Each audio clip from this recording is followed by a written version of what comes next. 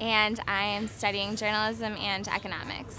Feel like you're not being heard by your local politician? I definitely want to go into something with journalism, whether it be public relations, marketing, reporting, and maybe financial reporting because I do enjoy economics. This summer I was lucky to work at NBC in Chicago um, at the assignment desk and that was a great experience. Thank you so much for coming to our Gluten Free Badgers meeting.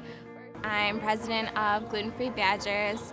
I intern in the Center for Leadership and Involvement, and my boss and I both found out that we have celiac disease, so I started learning more about it, and basically you can't have gluten, which is a protein found in wheat, barley, and rye, so you can't have pasta, bread, cereal, crackers, like anything like that. All of that stuff has to be gluten-free.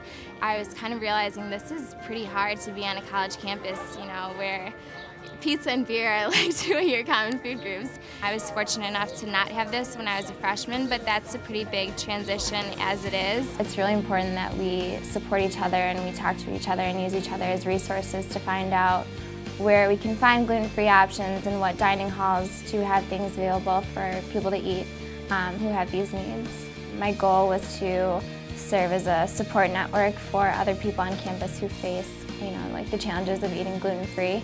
And then second was to raise awareness for gluten-free needs within um, our university and the greater Madison community. In five years, I would love to be a reporter in a mid-market field, or a large field, that would be great too. Um, but somewhere where I'm loving what I'm doing day in and day out.